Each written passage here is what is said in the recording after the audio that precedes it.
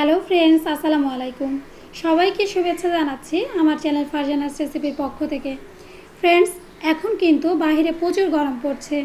আর এই গরমে শরীরের সমস্ত ক্লান্তি দূর করতে আমার আজকের রেসিপি আর আমার রেসিপিগুলো যদি আপনাদের ভালো লেগে থাকে, তাহলে প্লিজ অবশ্যই আমার চ্যানেলে সাবস্ক্রাইব করতে ভুলবেন না। তো চলুন গিয়ে দেখে নিই আমাদের আজকের রেসিপি অরেঞ্জ ললি তৈরি করতে কী কী উপকরণ লাগছে। প্রথমেই আমি এখানে নর্মাল পানি নিয়েছি দুই কাপ পরিমাণ। চিনি নিয়েছি পনে এক কাপ মানে এক কাপে চার ভাগে তিন ভাগ। অরেঞ্জ অ্যাসেন্স নিয়েছি হাফ চা চামচ। অরেঞ্জ ফুড কালার নিয়েছি হাফ চা চামচ। লবণ নিয়েছি হাফ চা চামচ। অরেঞ্জ জুস, এটা নিয়েছি আমি ওয়ান ফোর্থ কাপ। ব্যাস, মাত্র এই ছটি উপকরণ দিয়ে তৈরি হয়ে যাবে আজকের এই অরেঞ্জ ললি তো চলুন গিয়ে দেখে নিই অরেঞ্জ ললি আমরা কীভাবে তৈরি করছি। প্রথমে আমি চুলায় প্যান বসিয়ে গরম করে নিয়েছি। এখন এর মধ্যে দিয়ে দেব দুই কাপ পরিমাণ নর্মাল পানি। এরপর এতে আমি দিয়ে দেব পনে এক কাপ মানে এক কাপের চার ভাগের তিন ভাগ চিনি। দিয়ে পানি আর চিনিটাকে আমি খুব ভালো করে একটু মিশিয়ে নেব। সেই সাথে দিয়ে দেব হাফ চা চামচ লবণ। এরপর দিয়ে দেব one fourth cup orange juice. আপনার এটা কমলা জুস অথবা মালটা জুস যে কোনো জুস হলেই হবে, সমস্যা নেই।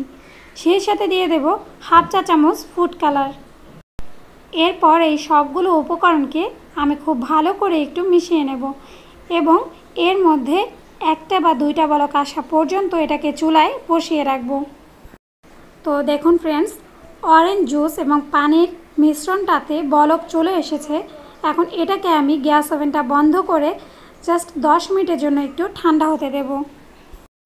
দশ মিনিট পর অরেঞ্জ জুস এবং পানির মিশ্রণটা ঠান্ডা হয়ে গেছে। এখন এটাকে আমরা জাস্ট ছেঁকে নেব। অবশ্যই কিন্তু ছেঁকে নেবেন, কারণ এর মধ্যে যে ফেনা ভাবটা আছে, ছেঁকে নিলে সেই ফেনা ভাবটা চলে যাবে। সম্পূর্ণ মিশ্রণটাকেই ছাকা হয়ে গেছে।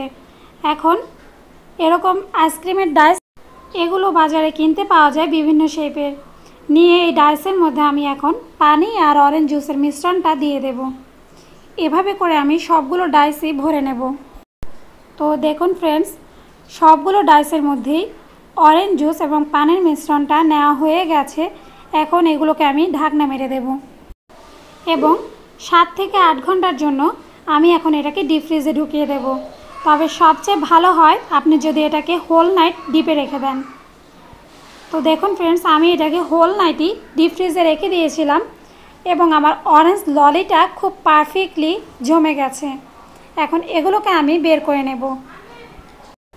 আর এই আইসক্রিমের বক্স থেকে আইসক্রিমটাকে বের করার ছোট একটা ট্রিক্স আছে। সেটা হলো হালকা কুসুম গরম পানিতে আমি জাস্ট আইসক্রিমের বক্সটাকে এভাবে চারপাশে একটু ঘুরিয়ে নেব। দুই তিন সেকেন্ড ঘোরালেই আমার আইসক্রিমের বক্স থেকে আইসক্রিমটা বেরিয়ে আসবে। দেখুন ফ্রেন্ডস, আইসক্রিম বক্স থেকে কিন্তু আইসক্রিমটা আলাদা হয়ে গেছে। এখন আমি জাস্ট হালকা হাতে এটাকে টান দিলেই আইসক্রিমটা বেরিয়ে আসবে পারফেক্টলি। আর এরই সাথে তৈরি হয়ে গেছে অরেঞ্জ ললি। এখন এভাবে আমি সবগুলো ললি বের করে নেব। আর এরই সাথে তৈরি হয়ে গেছে পারফেক্ট দোকানের মতো অরেঞ্জ ললি। ফ্রেন্ডস আপনারা অবশ্যই এটা বাসায় ট্রাই করেন আর দোকানের স্যাগারিন মেশানো আইসক্রিম খাওয়া থেকে বিরত থাকুন। নিজের তৈরি করা নিজের ঘরের আইসক্রিম নিজেও খান এবং বাচ্চাদেরকেও খাওয়ান। আর আমার এই রেসিপিটার সমস্ত উপকরণই দেয়া থাকবে এই ভিডিওটার নিচে ডেসক্রিপশন বক্সে সেই সাথে দেয়া থাকবে আমার ফেসবুক গ্রুপ লিঙ্ক যেখানে গিয়ে আপনি পেয়ে যাবেন সরাসরি আমার প্রতিদিনের প্রতিটা রেসিপির ভিডিও আপলোড সেই সাথে আমার রেসিপিগুলো যদি আপনাদের ভালো লেগে থাকে, তাহলে আমার চ্যানেলে লাইক দেবেন কমেন্ট করবেন এবং শেয়ার দেবেন। তো আজকে এ পর্যন্তই। সবাই ভালো থাকবেন, সুস্থ থাকবেন। আল্লাহ হাফেজ।